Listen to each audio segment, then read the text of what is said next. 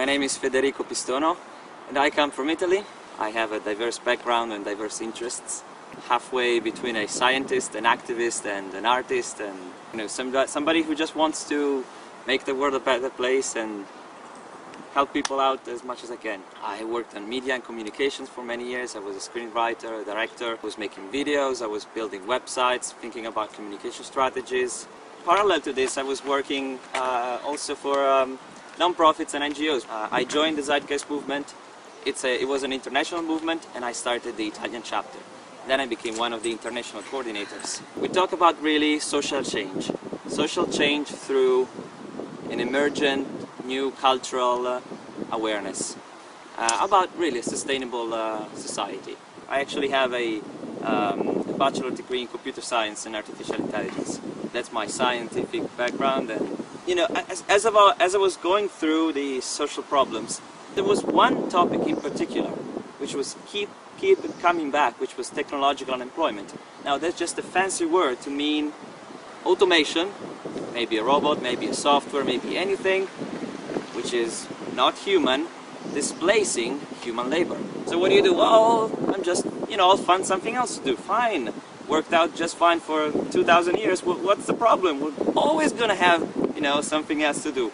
Problem is, when you have an exponential increase and you double the very small numbers, you don't really notice anything. But then when you start to double big numbers, and we are starting to double in big numbers, then you have a problem. Because machines are displacing human labor in those areas which we didn't expect for another 100 or 1,000 years. There are automated lawyers. There are some companies that they used to have, let's say, 100 lawyers inside, and now there's just 10 or 15 and the rest of the team is being automated. There are automated journalists. Yes, some of the articles you read online are written by robots or, you know, bots. And you don't know because they have a fake name. It's called natural language processing plus machine learning plus some evolutionary algorithms. Uh, so they take in the data, they process the data. Some of them are called uh, Bayesian networks, uh, uh, neural networks, uh, uh, support vector machines. I mean, there are sophisticated techniques to uh, kind of gather all the data, make sense out of it, and it's, you know, it's just data. It could be financial data, it could be sports data, you know. Then they bundle it up together, but then they provide a context and they share it in a way that is compelling for humans. So right now it's more real estate, finance, sports events, but this is just the beginning. In the future, we could be having, I don't know, a Pulitzer winning journalist and then turns out to be a robot. Art, we already have robotic art. They, you know, you show a hundred people, random uh, people, say 10 pieces of art and you say, do you think any of this was made by a robot? Sometimes they get it, most of the times they don't. Even the critics, they say, oh, this is really beautiful. oh, you see the struggle for existence and you can see his lover here, he, she left him or whatever. He's like, no, actually it was done by a robot. I'm like, nah. I think we give meaning to things. So if I see a machine creating something and I think it's creative, then that's my view, right? I don't think the question if those machines are intrinsically creative doesn't even apply because how do you know that I am creative? Just because you say I'm creative, I am. Or because someone thinks I'm creative. I don't think there are intrinsic values in creativity because it's subjective. If enough people fall in love with their machines, then those machines will be romantic. If enough people think those machines are real great artists, then they will be creative. Obviously, when people hear about these stories, they say, oh, come on, we want to replace, replace every job. I mean, you still need human contact for some things. You need context, you need to see a human face, and that's true.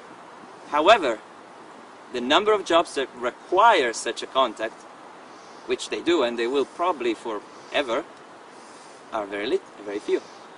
And most of the jobs right now in the, in the economy are automatable, meaning they could be automated if we wanted to. Now, this is a crisis under the current economic paradigm. Because if you break the cycle of labor for income, income for consumption, because you have no income, then you cannot buy anything, so the economy breaks. If you break that cycle, it's a crisis. However, think about the opportunity.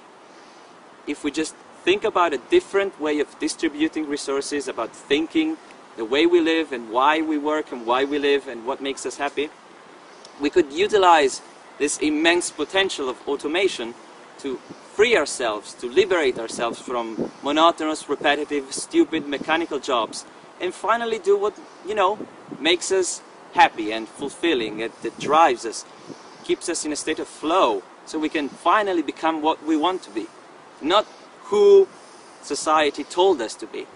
You, who do you want to be when you grow up? You want to be an engineer? Do you want to be a teacher? Do you want to be a plumber? Do you want to be what? I don't know. Maybe I, none of the above. You know, why do you have to confine yourself to a specific uh, piece that society like a label? Like they, they put a label on you when you're 70 or you you've got to choose you. Think about your future. Think about a work. Think about your job, university. Uh, don't take a humanities because you'll never get a job there. Be an engineer. Be, fine, maybe I want to be an engineer. Maybe I don't. Maybe I want to be something else. Maybe the university that I would have to be in to be happy doesn't exist. Maybe it's a different type of school. Maybe it's a, it's not even a school.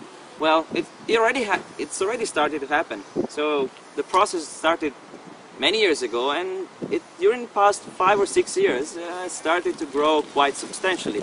And I predict that within 10 to 15 years, the, the changes will be so drastic that the economic system will have to completely change. I mean, even Richard Branson, you know, is not exactly a communist. He said, screw business as usual. The, the, the, people who created and helped shape the current system, they are seeing the shortcomings of this system. Because it was good 20 years ago, you know, it created the wealth that we are experiencing, but maybe, maybe that kind of system is not adequate for the kind of technological and cultural change and shift that we are experiencing. So we need to upgrade the system.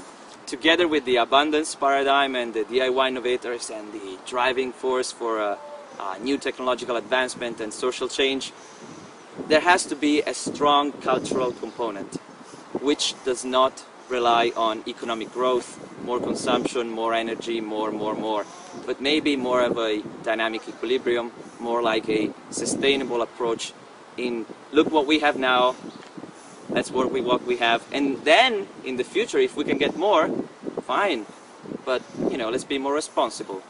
I think computational speed will increase along the lines of Kurzweil's predictions. However, computational power doesn't mean that the singularity as people think, like, as people think it will happen, as it happens, meaning computers exceeding human level intelligence. Let's say a computer does, oh, our, our brains do 10 to the 16 calculations per second. Let's say we build computers or clusters of computers in the cloud that make 10 to the 17, 10 to the 18 calculations per second. Maybe the software that they are running isn't nearly as efficient as ours. Maybe it's more efficient, but it works in a completely different way, and make and doing a comparison between the two is inappropriate. It's like you know, uh, bananas and oranges or apples. I mean, we are already kind of hybrid. You know, I access the world's knowledge on this phone, and 20 years time will be blood cell size and could be directly inside my brain. The connection and the, the speed of information between the left side of your brain and the right side of your brain is X. If I make that synthetic, it could be a million X. Or I could be transferring information to your brain telepathically or wirelessly in this case faster than my original neurons would speak among each other. That will change definitely the way we communicate and the, the way we think. I think machines are well, up to now, they do what we tell them to do, what they are programmed to do, what they are designed to do. So, in a sense, they are the reflection of our values. If our values are still mindless and, you know, super conspicuous consumption, competition, uh, um, aggression, uh, overpowering, stealing resources, in a war, that kind of thing, then I guess it's possible because we'll just transfer our values to them. However, we have seen a tremendous decrease in violence overall, and uh, you know, Steven Pinker talks about that in the Better Angels of Our Nature, uh, which I suggest to all of you. Then our technology will reflect these values. So, uh, I think it's, it's up to us.